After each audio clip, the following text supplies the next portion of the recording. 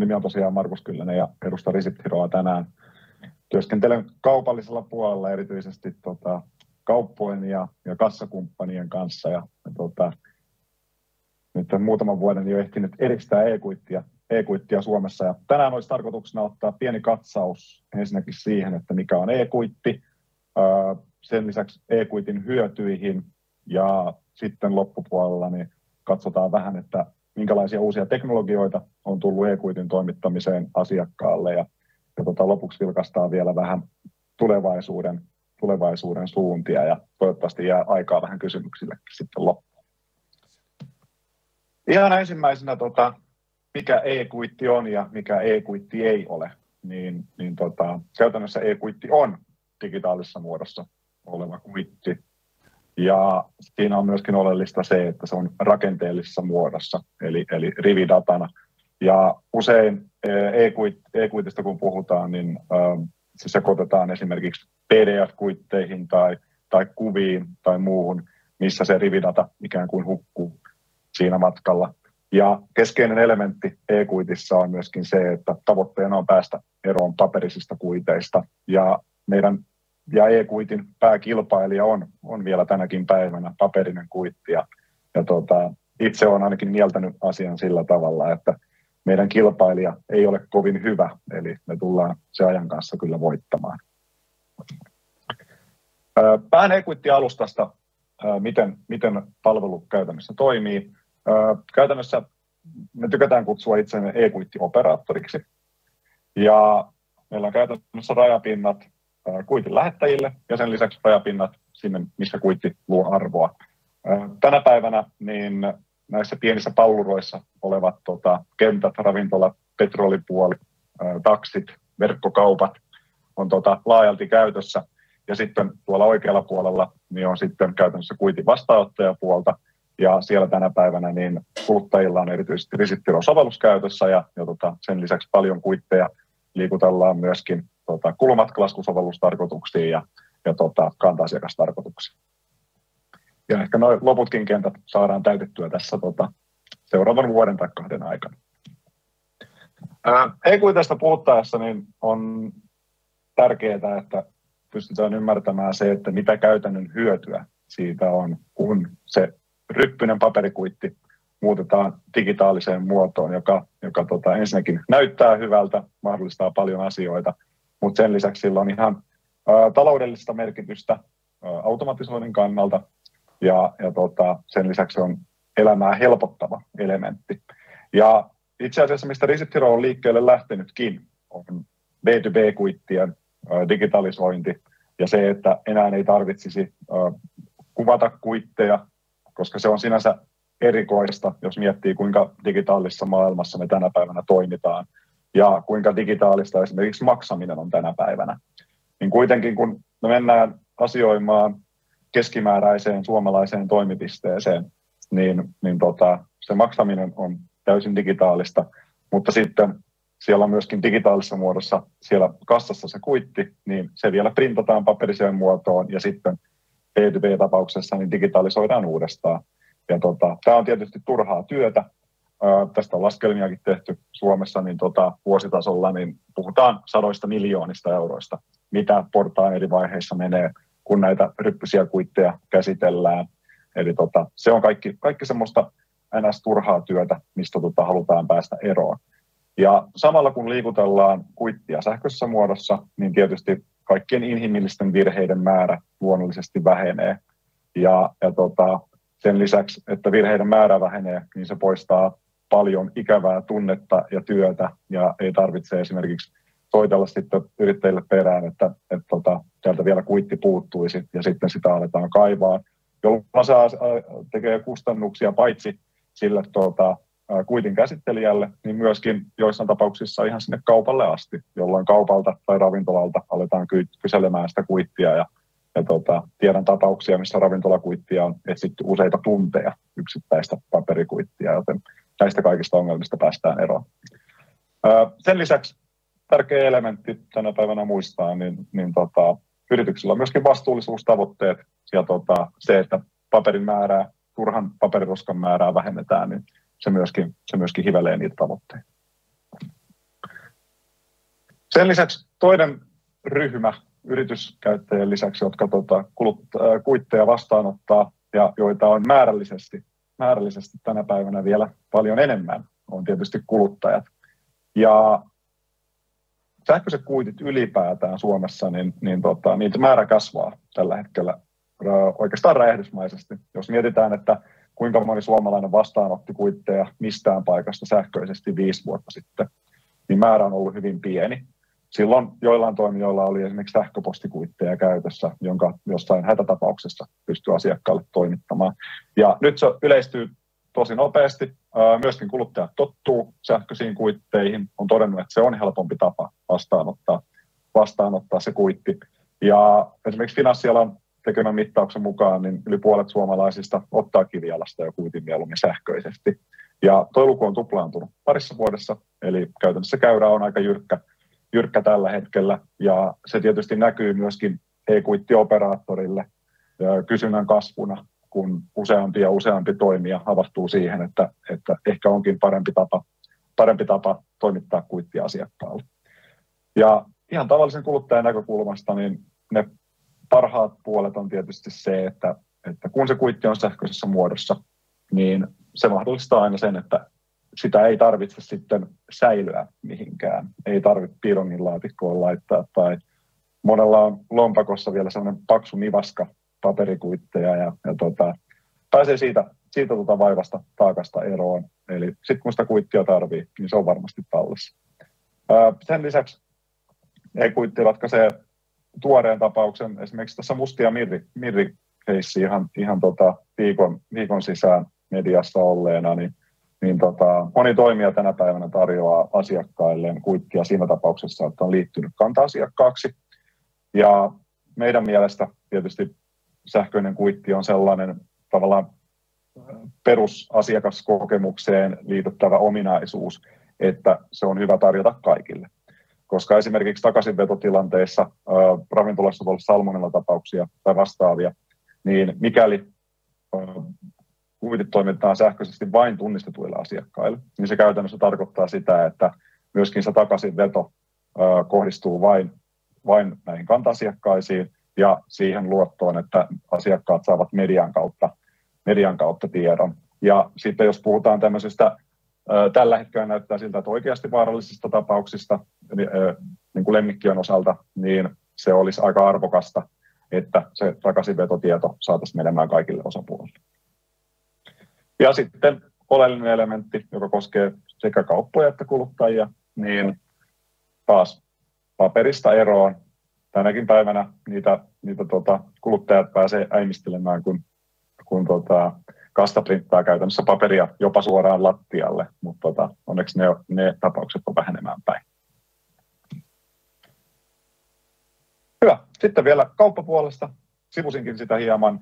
Eli, eli tuota, sähköinen kuitti, se on kiinteä osa asiakaskokemusta. Se helpottaa asiakkaiden asiointia liikkeessä. Ja loppujen lopuksi, kun mietitään, mietitään asiakkaiden asiointia ja sitä herkkyyttä, miten asiakkaat käyttäytyvät, niin ne on usein mitä kaupatkin tavoittelee, niin ne on niitä pieniä, pieniä juttuja siellä asiakaskokemuksessa, joka loppujen lopuksi erottaa sen kaupan muista toimijoista. E-kuitti on yksi niistä. Asiakkaalle mahdollisuus saada kuitti helposti. Erään ison suomalaisen toimijan, toimijan tota, keskustelukumppani muutama viikko takaperin sanoi, että heillä siis on käytössä tämmöinen vain kanta-asiakkaille toimitettava tota, sähköinen kuitti, niin sanoo, että loppujen lopuksi kun alkaa tarkemmin miettimään, niin ehkä se, ehkä se ei ole sen hyödyn arvoista, että pakotetaan asiakas tekemään monimutkaisia juttuja sen kuitin saadakseen. Että ehkä se olisi parempi mahdollistaa se kaikille. Ja tähän suuntaan se markkina on kehittymässä. Kun asiakkaat kysyy, niin silloin myöskin siitä tulee asiakaskokemus koko asiakaskunnalle. Printtaaminen, paperiroska, se myöskin maksaa. Syksyn aikana käynyt useita keskusteluja eri kokoisten kauppojen ja ravintola-alan toimijoiden kanssa liittyen kuittien tulostamiseen ja kuitin tulostamisen kuluihin, niin se muodostuu useasta eri kohdasta. Siellä on tietysti printerikulut, niiden huoltokulut ja sen lisäksi ihan sitten se raaka paperikulu. Ja ne vaihtelee toimipistettään aika paljon, kuinka paljon itse rahaa menee tuohon printtaamiseen. Mutta se voidaan sanoa, että, että arvio on se, että yksittäinen, yksittäinen toimipiste, niin se pyörii siellä jossain 20 euron, 30 euron kuukausitasolla, mitä menee rahaa sen paperin printtaamiseen. Ja se on kuitenkin, kun on useampaa toimipistettä, niin, niin tota, siitä muodostuu ihan merkittävä kustannus, varsinkin siihen hyötyyn nähden. Ja sen lisäksi, mikä kauppoja tietysti kiinnostaa, on se, että paperikuitin, kun asiakkaalle antaa, sen elinikä on yleensä muutamia sekunteja. Ja sitten se päätyy roskiin. Tai sitten jos on niin sanotusti korkean arvon kuitti, mikä sisältää esimerkiksi takuutietoa, niin sitten se on asiakkaalle tietysti hankala säilöä. Ja oli se kumpi tahansa se kuitti, mikä on asiakkaalle annettu, niin siinä on hyvä, hyvä tota, pitää mielessä se, että paperikuitilla kommunikoiminen kuluttajan kanssa on hirveän vaikeaa. Sinne voi ehkä QR-koodilla laittaa loppuun, mihin voi laittaa palautekyselyn, mutta ihan johtuen jo sen paperin eliniästä, niin tota, harva niihin pääsee sitten vastaamaan ja harva niistä on kiinnostuneita. Ja sillä, että kuittiliikenne sähköistetään, niin sillä on arvoa paitsi yrityskäyttäjille ja kuluttajille, niin myöskin ihan sen kuitin lähettäjälle. Kohta voin näyttää tarkemmin, tarkemmin tota, mitä sinne saadaan tehtyä. Ei-kuittitilanne reseptoron osalta ja toimipistetilanne on se, että meillä on tällä hetkellä noin 3700 toimipistettä, jotka on tilannut e-kuittipalvelun itselleen käyttöön. Määrä kasvaa tasaisesti. Tällä hetkellä meillä taitaa olla reilu tuhat, tuhat paikkaa, jotka on niin sanotusti integraation alla. Eli tehdään tällä hetkellä teknistä työstöä, että saadaan tuonne tuota, kartalle näkyviin ja sen lisäksi niin meillä on tällä hetkellä ensimmäisen kaupan kanssa menossa integraatio myöskin verkkokauppaan, että siellä saadaan sitten verkkokaupasta kuitituimaan samaan paikkaan kuin kivijalkakauppaan. Ja sitten esimerkiksi VR 02 taksi matkahuolto integraatioita on tehty tuonne sovelluspuolelle, jotta myöskin sovellusta käyttävät asiakkaat voi helposti saada kuitit samaan paikkaan. Ja tällä hetkellä niin noin 15 prosenttia kuiteista niin kulkee jo alustalla ja, ja tota, määrä kasvaa vuosi vuodelta. Muutama esimerkki siitä, miten palvelua käytännössä käytetään. Tässä tyypillinen kivijalkakeissi, missä on, asiakka- on kivijala ottanut tota e-kuitit käyttöön. Ja tämä on myöskin se toiminnallisuus, mikä me oikeastaan ihan ensimmäisenä ollaan tehty. Eli käytännössä kuluttaja tai yritys rekisteröi kortin ennalta, eli ottaa e-kuittipalvelun käyttöön. Ja sen jälkeen, kun käy siellä toimipisteessä maksamassa joko Visalla tai Mastercardilla, niin me saadaan yhdistettyä se transaktiotieto niin siihen kassalta tulevaan kuittiin ja toimitettua se oikealle asiakkaalle. Ja tämä tapahtuu käytännössä reaaliajassa, eli, eli se tuota, sekunnin kaksi kolme vie ja kuitti on asiakkaan puhelimessa. Ja tämä ei vaadi siinä kassalla mitään toimenpiteitä, kaikki menee hienosti taustajärjestelmissä. Ja tuetaan myöskin Google Pay ja Apple Pay-ominaisuuksia, niiden määrä kasvaa tällä hetkellä aika lujaa, ja pääkaupunkiseudulla osassa meidän toimipisteissä niin alkaa olla puolet maksuista tehtyinä näillä mobiililompakoilla. Ja, ja tota, tämä on se hienoin tapa ja helpoin tapa toimittaa asiakkaille kuitteja. Sen lisäksi uusia tuulia viime kesänä ensimmäiset paikat mennyt liveen QR-kooditoteutuksen osalta. Ja tässä voidaan kysyä, että jos meillä on maailman hienoin tapa toimittaa asiakkaille kuitteja asiakkaan maksukortin perusteella, niin tota, minkä takia me tarvitaan, tarvitaan tota QR-toteutus tukemaan sitä. Syy on siihen siinä mielessä yksinkertainen, että kaikkien asiakkaiden kortit, kaikkien suomalaisten yritys- ja kuluttajakäyttäjien kortit ei ole meidän palveluun liitettynä. Ja tota, niin pitkään kuin jokainen kortti ei ole palveluun liitettynä tai Suomessa tehdään vielä maksuja käteisellä tai esimerkiksi e-passilla, niin näihin tapauksiin tarvitaan tukeva muoto ja lisäksi mahdollistetaan se, että asiakas voi helposti saada sen oman ensimmäisen kuvitin itselleen talteen. Ja tätä varten niin me lähdettiin, lähdettiin tuolta Saksan markkinalta liikenteeseen QR-toteutuksen kanssa. Miksi Saksan markkinalta, niin se on helppo ymmärtää. Siellä saattaa puolet maksuista olla vielä käteismaksuja, niin QR-koodi on luonnollinen tapa toimittaa kuitti näissä tapauksissa. Ja nyt jalkautetaan tätä Suomeen. Meillä taitaa olla viiden, kuuden kassatoimittajan kanssa tällä hetkellä integraatio on menossa ja, ja tuommoisia tota, asiakasnäyttöjä alkaa sitten tupsahtelemaan kevään aikana sinne tänne.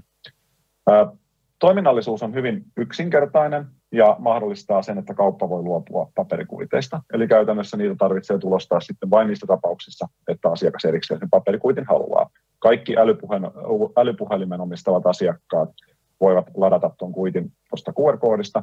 Ja jos tämä näkyy siellä paikan päällä isolla screenillä sillä että tuon QR-koodin tuosta kolmosluudusta pystyy lukemaan, niin lukekaa ihmeessä. Saatte vähän tuntumaan siltä, että miltä kuitti voi näyttää. Eli käytännössä se ero paperiseen, paperiseen ryttyyntyneeseen kuittiin on merkittävä. Sen lisäksi tuohon demokuittiin on laitettu jo muutamia ominaisuuksia, mitä kaupat on meiltä tilannut käyttöön. Tyypillisesti kauppoja kiinnostaa esimerkiksi palautteen saaminen. Sen lisäksi toinen, erityisesti ravintola-alalla, tuota, kuittien lisäksi roskaa aiheuttava ominaisuus on tietysti esimerkiksi erilaiset lounaskortit ja passit, niin tota, ne saadaan sähköistettyä tuon kuittiliikenteen avulla, pysyy asiakkaalla aina tallessa, aina tallessa ja täyttyy automaattisesti asiakkaan maksaessa. Sen lisäksi sinne voidaan lisätä, tuossa demokuitissa niin on esimerkiksi lisätty tota, käsiohjelma, eli ei tarvitse semmoisia printata tapahtumia, vaan esimerkiksi sisäänpääsyn yhteydessä niin asiakas voi ottaa sisäänpääsymaksun jälkeen niin tota, kuitin sähköisesti vaikka eteispalvelusta ja, ja sitä kautta niin tota, saada sitten sen käsiohjelman auki samalla modella sinne omaan puhelimeen. Ää, liikutaan digitaalisissa ympäristöissä, mahdollisuudet on käytännössä rajattomat ja luovuudesta kiinni ja, ja tota, katsotaan mitä kaikkea meidän kanssa toimivat kaupat ja kunnat sinne tota, keksii laittaa. Hyvä. Sitten vielä laajemmassa kuvassa, että mitä, mikä kaikkia osapuolia e-kuittialustalla tällä hetkellä on ja, ja tota, mitä milläkin puolella tapahtuu. Kauppiasverkostoa tuossa sivuttiinkin tuolta oikeasta yläkulmasta, jos lähdetään liikenteeseen. Ja tota, siellä määrä, määrä kasvaa jatkuvasti. Sen lisäksi niin meillä on keskeisenä kumppanina meidän kassakumppanit. Kassakumppanien määrä kasvaa Suomessa, Suomessa jatkuvasti ja mitä enemmän kassat tarjoaa e-kuittia heidän tota, asiakkailleen, niin sitä helpompi asiakkaiden ottaa myöskin sitä palvelua käyttöön. Visa ja Mastercard toimii meillä transaktiodatan toimittajina, eli pystytään toimimaan maksupääteen riippumattomasti, eli ei ole väliä, minkä toimijan maksupäätä käyttää, e-kuitti saadaan sieltä kyllä liikenteeseen. Ainoa vaatimus on se, että löytyy integroitu päätä. Sitten tulevaisuuden suuntia e-kuitti, e-kuittien määrä ja sen liikenteen määrä kasvaa koko ajan, mikä tietysti tekee houkuttelevammaksi erilaisille toimijoille myöskin integroitua meidän kanssa. Tällä hetkellä niin kuluu matkalaskusovelluksiin liikkuu paljon kuitteja ja ne on lähes kaikki integroitu e-kuittialustaan. Uusimpana taisi eilen tulla, tulla uusi toimija taas alustalle ja integraatio saadaan alkuvuodesta tehtyä. Ja kuittiliikennettä me ollaan joustavia sen liikuttelun suhteen, ja tota, saa nähdä, mitä kaikkea, mitä kaikkea hyödyllistä sillä kuittiliikenteellä voidaan tehdä. Keskusteluita on esimerkiksi pankkien kanssa. Me nähdään, että yksi erittäin luonnollinen paikka sijoittaa kuitti niin on asiakkaan oma verkkopankki. Eli käytännössä niin siellä tänä päivänä, kun näkyy se transaktiotieto ja paljonko on mennyt rahaa, niin sinne kun laitetaan se kuitti perään, niin tota, siinä ensinnäkin vähenee puhelut pankin suuntaan, että, että tämä ei kuulosta tutulta yritykseltä, että mikä tämä osto on, että en tietääkseni ole tehnyt tämmöistä. Sitten kun siinä on kuitti mukana, niin tota, soittaakin kelloja, että ahaa, tästä olikin kyse. Ja sen lisäksi niin erilaisiin vakuutustapauksiin, kun on kuitti tallessa, niin, niin tota, vakuutus, vakuutusten esimerkiksi tota, varastettujen tavaroiden hakeminen, vakuutuskorvausten hakeminen helpottuu sitä kautta, että se kuitti on valmiiksi tallessa ja, ja tota, paljon muuta, muita sovellutuksia, mitä voidaan tehdä. Sen lisäksi niin tietysti yksi paikka, mihin kuitteja voidaan myös sijoittaa, on se on yritysten omat sovellukset. Eli käytännössä niin kun me sähköistetään kuittiliikennettä, niin tietysti näin e-kuittioperaattorina meidän tahtotila on se, että me pystytään saamaan ne e-kuitin hyödyt, esimerkiksi B2B-tapaukseen, jolloin saadaan ne hyödyt yritysten käyttöön heti. Joissain tapauksissa voi olla kuitenkin järkevää, että ne kuitit liikkuu sinne kaupan omaan järjestelmään. Eli, eli esimerkiksi tilanteessa, että kaupalla on verkkokauppa sekä kivijalkamyymälä tänä päivänä, niin sinne asiakastilille tallentuu verkkokaupasta tehdyt ostot, mutta kivijalasta ei ole mitään mahdollisuutta tallentaa niitä kuitteja sinne, niin mahdollistettaisiin näihin tapauksiin, että asiakas voi, ää, asiakas voi antaa konsentin ja sitten tallennetaan ne kuitit samaan paikkaan kuin missä ne verkkokauppaostot on. Ää, tässä on tietysti niin kuin datan rikastamisnäkökulmia ää, kaupalle ja sitten jos kuluttaja haluaa sen kuitin säilytyspaikaksi, niin, niin tota, saadaan se kuitti sitten liikutettua sinne. Hyvä. Vähän tulevaisuuden suuntia. Ja, ja tota, keskeinen on se, että kaupat näkee e-kuitin osana asiakaskokemusta. Olen e-kuittien kanssa työskennellyt noin kaksi ja puoli vuotta nyt, ja se muutos, mitä on siinä aikana tapahtunut sähköisten kuittien osalta, on ollut merkittävä. Ja tietysti osa syy on siinä se, että minkälaista kehitystä me ollaan tuotteen suhteen tehty, mitä uusia ominaisuuksia sinne on tullut. Ne tuo tietysti arvoa myöskin kaupalle. Ja silloin kun pystytään luomaan arvoa sekä sille kuluttajalle että kaupalle, niin silloin ollaan jo tosi pitkällä.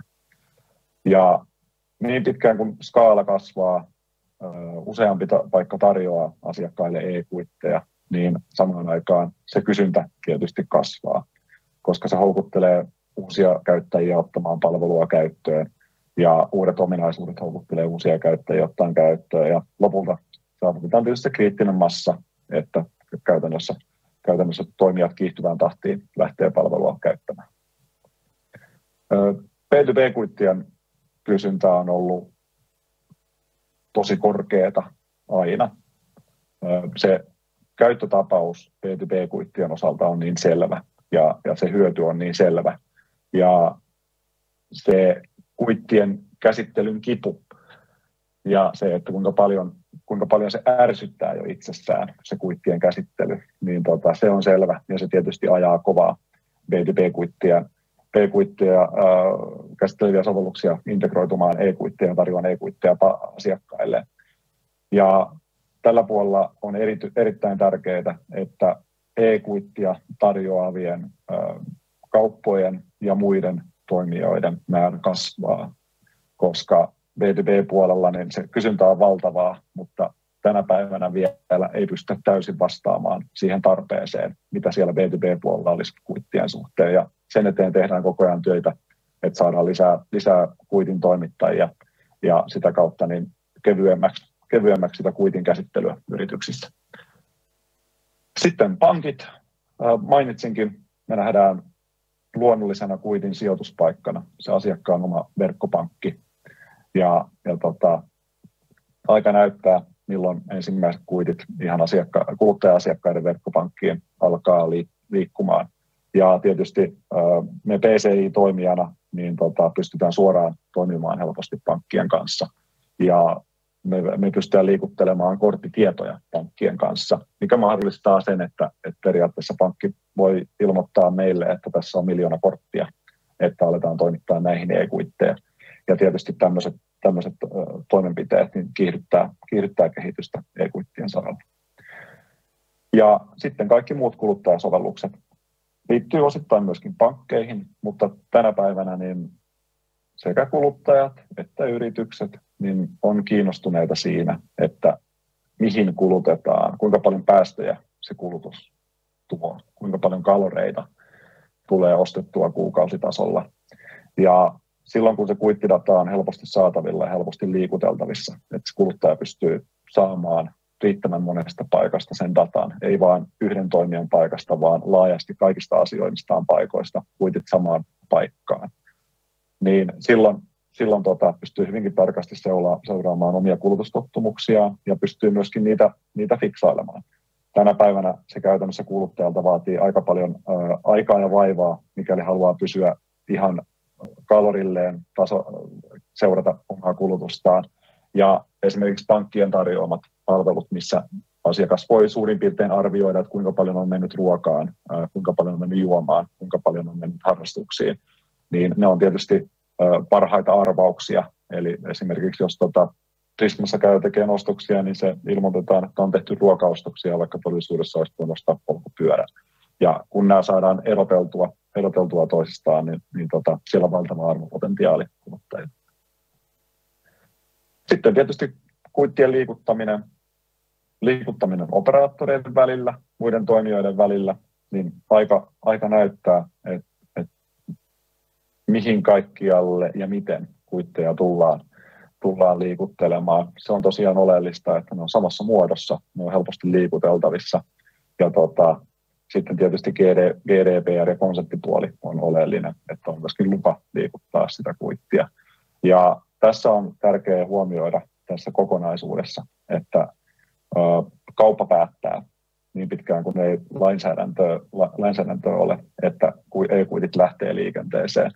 Ja se on erittäin oleellista olla kaupoille tosi avoin siitä, että mihin kuitti menee, ja sen lisäksi pitää myöskin tarjota kaupoille mahdollisuus, että mikäli e-kuitti-infraan tulee uusia toimijoita, mihin kauppa ei halua, että kuitti menee, niin sitten se ei sinne mene. Eli käytännössä annetaan ohjaimet kaupoille siinä mielessä, että tuota, pystyy, pystyy päättämään, mihin, mihin se kuittidata menee, koska se on itsessään arvokasta. Kiitos.